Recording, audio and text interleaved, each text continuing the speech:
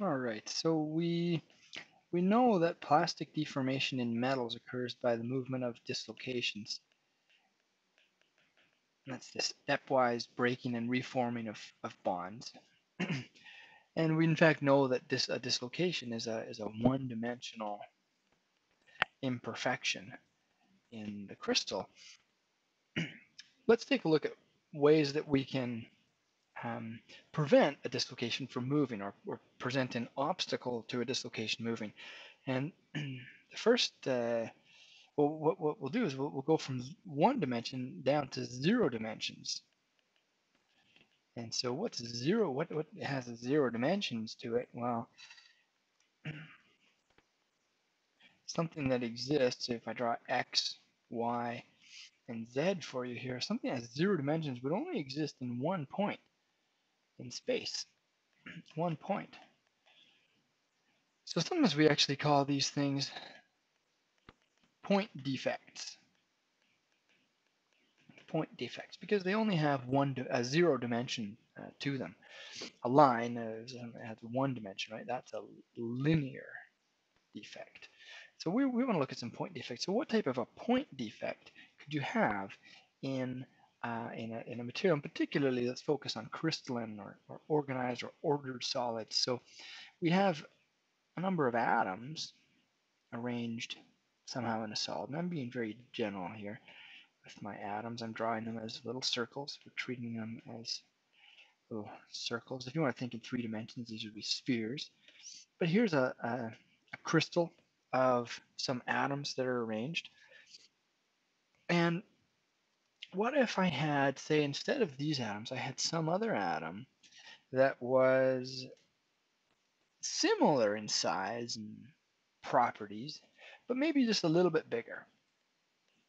You know, something like that. So, what would be the result? The result would be that the atoms that are kind of close to that one, I'm being general here, but the atoms in the vicinity of this atom might be pushed away. And what's this atom actually really doing right here? This atom here is taking the spot of another. It's substituting for one of these host atoms, the white atoms. So this green one is substituting for a white one. So this is called a substitutional atom. And because it's not the same as the ones around it's called a substitutional impurity. And what it's doing is it's just a single, it's a point in space. It's not a collection of atoms. It's not like a particle. It's not a piece of sand in your coffee or something like that. It's it's a molecule of sugar dissolved in your coffee.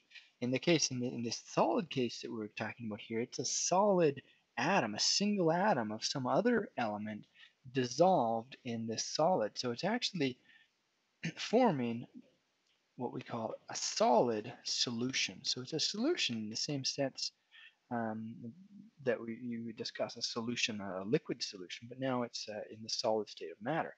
Um, so you could have um, you could have an atom like that that's a little bit bigger.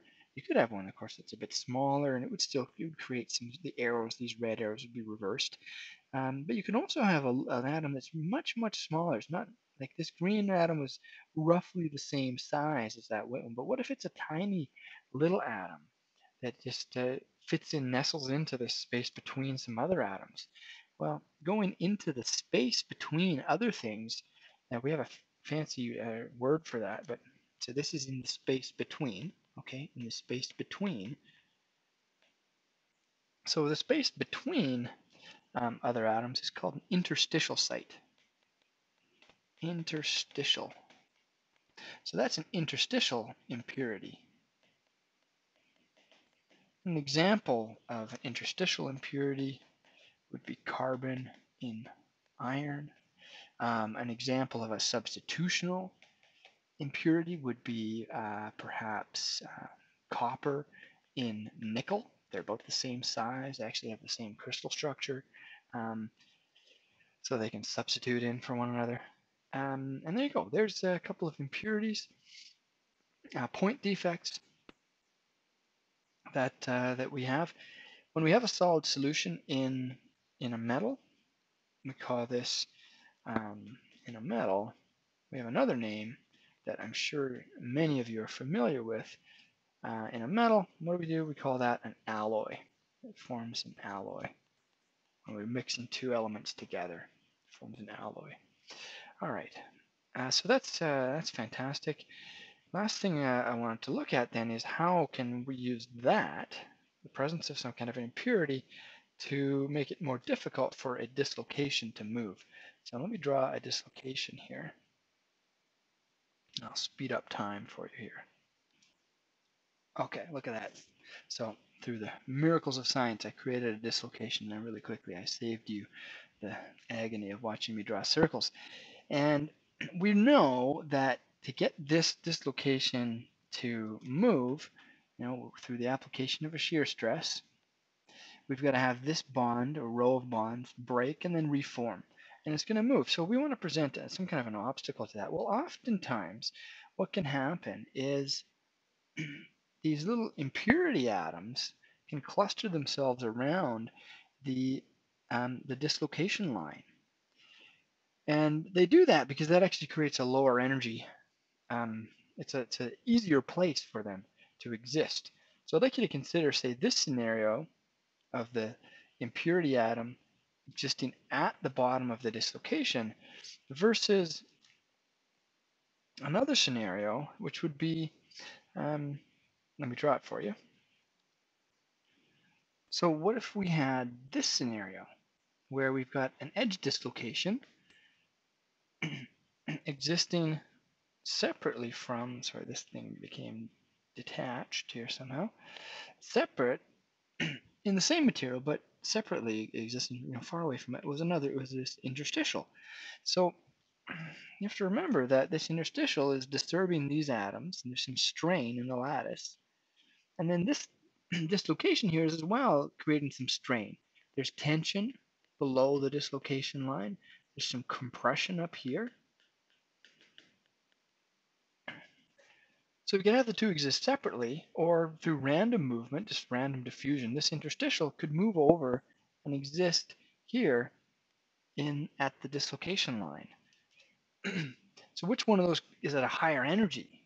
Well, whether they exist separately is actually a higher energy. There's more lattice strain total when they exist separately uh, an analogy that uh, sort of a mechanical analogy that you could think about, I suppose, is say you've got a bookshelf, and maybe you've done this, and you've got on your bookshelf, you've got um, a set of books. uh, okay, there's some books. Make that. There you go. And you know, you know the scenario. There you go. You just got this much space here to fill in another book, and you've got a position what do you need to do? You need to position this big thick book in there. Okay, I'm going to make it yellow. There's your new book. And you want to put that into the bookshelf. So what do you do? We've got two options. The first thing you could do is you could squeeze the book in to that um, to that spot right there. So you take this this book right here and squeeze it in. But I mean, you know, you get a sense for the fact that's not really going to go. That's What's going to happen is you have to squeeze it in. It's going to deform a bit. You, you squeeze your book in. It's hard to do, and you get that book in there. That's one option. The other option that you've got, option two, is is this. Well, you realize that you have some space over the books. Now, really, I should have I should have done this more carefully and actually drawn the space above the books in all the cases. So let's just quickly fix that. All right. I didn't think ahead, see? I Didn't think ahead. Bad, bad prof. So there you go. Okay, look, now now we've got that space there over the top of the books. In this case here, scenario one, we squeeze the book into that spot. Scenario two, what we're going to do is we're going to just just pop the book in that space over the top. How many times have you done that? You've probably done that before if you have a bookshelf and you know it just fits in easy. Which one has more energy overall? When you squeeze it in um, or you fit it into the space that already exists. So this one here is in the space already existing. All right, now I don't know if this is a perfect analogy, but the book is squeezed into the space that already existed, and this makes for a lower energy. That's what we're after. So, which scenario here has the book squeezed into the space that already existed? Well, the book, the interstitial site, is squeezed into the place, the dislocation line that already existed. There's already some space in the lattice that you can put this impurity, so why not put it there? And they'll create less strain overall. if you have them exist separately, you have this empty space exists separate from this book that's squeezed in, it's a higher energy. There's higher strain energy, lower energy when it fills a space that's already there. So when our interstitial fills the space that's already there, it creates a lower energy overall. And so it's harder then if we imagine this dislocation moving through the application of a shear stress for this dislocation to break away from this impurity because it's pinned in place by the uh, by the impurity. The impurity has pinned the dislocation. It has to go to a higher energy state of them existing separately for the dislocation to move away from the impurity. So the impurity pinned the dislocation. All right, now that's not the entire story, but it's pretty good for describing a strengthening of a metal through um, a solid solution strengthening, the formation of an alloy or a solid solution.